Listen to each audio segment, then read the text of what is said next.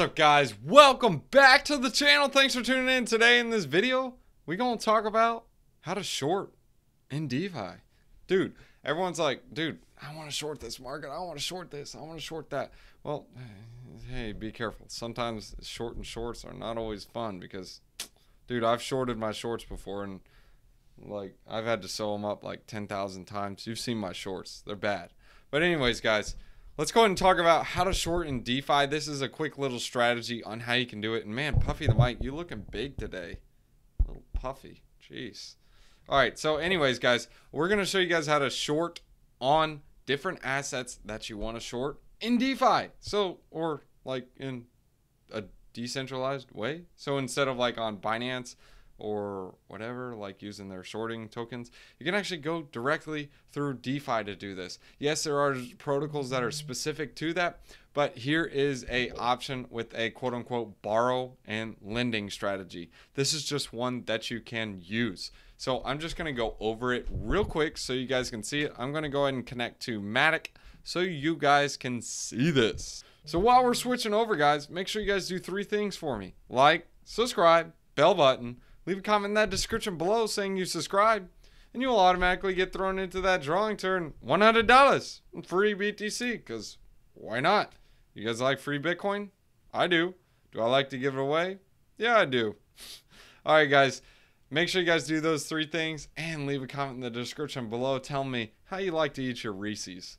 I mean, dude, me personally, I like them frozen, like in the freezer. If you guys haven't tried it, get your A game up or get your P game up because it's peanut butter. Anyways, guys, let's go ahead and show you guys how to short. So if you're like, dude, I'm super short on, or not short, and I'm not short, I'm 6'5.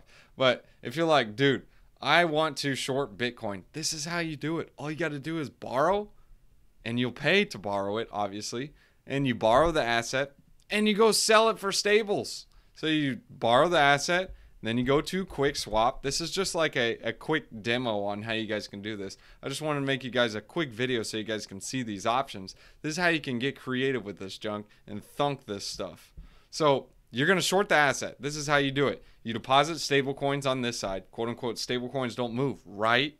Um, well, theoretically they don't but you will deposit the stablecoins and you can borrow. So you're going to earn interest on the um, stablecoin side. Yes, you will have to pay for this, um, but if you factor it out, look, 2.6, 88, and 1.34, it looks like it's going to be just like break even. So you're just basically going to be getting a free short. And even on centralized exchanges, you do have to pay to short because you have to borrow those tokens when you short it. If you don't know understand how shorting works, basically when you short an asset is you sell it at the price that you're shorting it at. So say for example, you short Bitcoin at 30 G's, you're selling it at 30 G's in hopes to buy it back lower because if you buy it back lower, well, you made a profit because you sold it at 30, bought it at 20. So here's how shorting works. So shorting is when you are are not bullish on the market, but you're thinking like, man, this is way too frothy. So this is a good example. You have a pen. Pens are worth $10 right now. Johnny's got one pen. So you're like, hey, Johnny, let me borrow your pen and I'll return it back to you. So you borrow his pen, you sell it for $10 because you know there's a max or a uh, huge influx of pens coming in pretty soon. So you pocketed that $10 because you're like, all right, I got $10 now. That pen sold, but I owe Johnny his pen back. So that max supply of, or huge supply of pens come in, and now pens are worth a dollar. So you go buy 10 pins. you give Johnny back his one pin. Now you have nine pins. Now you're like, yay, I got nine pins. You just shorted the market, or you just shorted the pin market. Good job, Johnny. Here's how you'd short it. So you deposit stables on this side.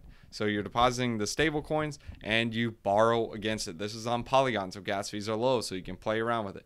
So say Polygon or Matic token is at one dollar, and I'm like, dude, this asset is going lower. I know it is. So I'll borrow tokens against it and I'll say, okay, look, let me borrow 500 tokens. It's going to cost me $500 because they're a dollar a token. I automatically, the same day, same transaction, eh, not same transaction, but same price, etc. I'll come and dump my Matic tokens, 500, get 500 USDC, deposit over here to keep the short afloat, as in earning interest on it, so that way it can pay off the loan that I have to pay each day for keeping this loan out. Um, but now I have 500 extra dollars. Yes, I still owe 500 Matic over here, but I think it's going down. So when it goes to 50 cents, I will then come back, pay $250 to get 500 Matic. So then I will pay back the 500 Matic or the 500 Matic tokens that I owe. And once I pay that back, my loan is paid off. And now I just profited $250. That's how you shorted the market. So I'll explain it again. I got the stable coins on this side. I got a loan in Matic. So the Matic tokens that I got a loan for, they were worth $1 at the time. I got 500 of them. So it cost me a total of $500. So I then sold the Matic tokens, $1 a piece, 500 of them. I get $500. I shorted the market because I sold my Matic tokens and I got a loan against it. So when I get the loan against it, I still owe the bank, but it's in Matic tokens. I sold the Matic for USDC. USDC doesn't move as much. It's quote unquote a stable coin. Yes, there is smart con- contract risk, so that is a factor that you have to take into account. So don't throw in all the bags and lever up. They can lose their peg. But that's how I shorted it because now Matic goes to 50 cents. So I buy back my Matic that I owe at a half price. I return it and I profited the other half. So 250 went to pay back the loan that I owed, and 250 just went in my pocket. And it said, "Man, we can go buy a good lunch now." But anyways, guys, that's how you can short the market in DeFi. If you guys enjoyed this video, three things for me: like, subscribe, bell button, leave a comment in the description below saying you subscribed, make sure you tell me, guys, how you like your Reese's. Do you like them warm?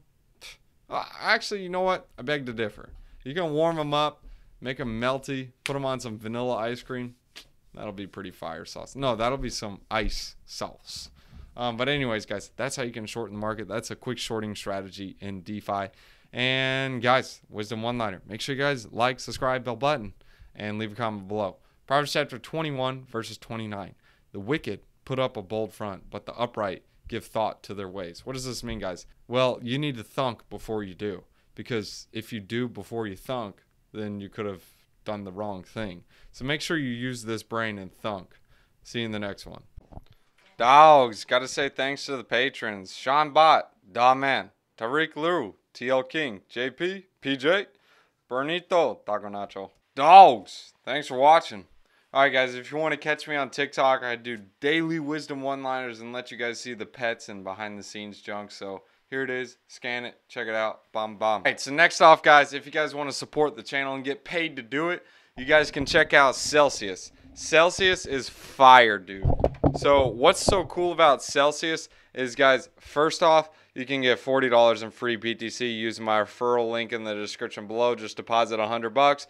Add in the uh, code BTC50. You will also get an additional $50 if you deposit $400, guys. It's free BTC. Next is Voyager, guys. I also got a referral link in the description below. Instead of just only getting $25, you'll get $25 and some free VGX tokens, guys. Next is BlockFi. BlockFi is part of the quadruple threat. Go ahead and make a deposit. Use this referral link in the description below. You get $100. Depending on how much you deposit, you can get all the way up to, guess how much? 250 bucks. All right, so what the pants is Celsius and BlockFi for? Well, you can use both of those as like your bank. They get some pretty nice juicy yields. And Voyager is more so like trading and it gets some juicy yields as well. And the last one to try is crypto.com, guys. You can trade some like smaller altcoins and you guys will get $25 in CRO once you guys get the Visa card. Why do I like the Visa card? Well, you can sell crypto and buy some junk with it. So I can buy a sandwich with my crypto. I don't use BTC, but I'll use like stable coins and junk. So, anyways. If you guys want to support the channel, that's the quadruple threat. Thanks for tuning in, guys. You'll get paid to do it.